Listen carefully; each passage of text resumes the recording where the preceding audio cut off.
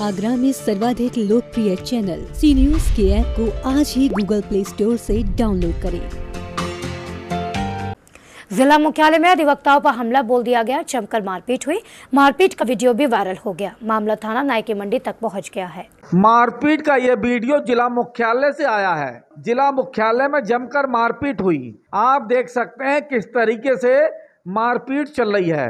लात घूसे चल रहे हैं और कुर्सियाँ भी चल रही हैं। मारपीट अधिवक्ताओं के साथ हुई, जमकर मारपीट हुई। ऐसी मारपीट जिसके चलते जिला मुख्यालय में अफरा तफरी मच गई।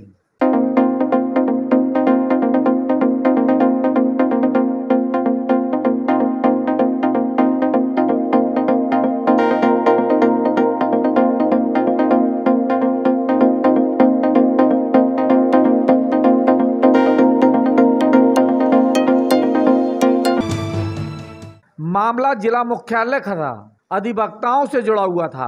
पुलिस भी एक्शन में आ गई। थाना नायकी मंडी पुलिस ने इस मामले में जाँच पड़ताल शुरू कर दी है। कलेक्ट्रेट में एक मामला हमारे संज्ञान में आया है।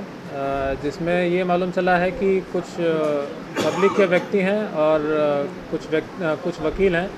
उनके बीच में कुछ शायद आपसी झड़प हुई है।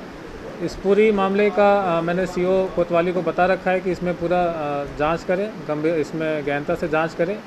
जिसकी, जिसका भी दोष उसमें उजागर होगा, उसके विरुद्ध वैधानिक कार्रवाई अमल में लाई जाएगी। जिस तरीके से जिला मुख्यालय में मारपीट हुई, उससे तमाम लोग घबरा गए। बचकर लोग इधर उधर भी भागने लगे।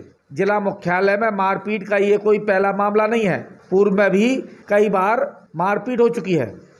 Rakesh Kanaujia C news Agra.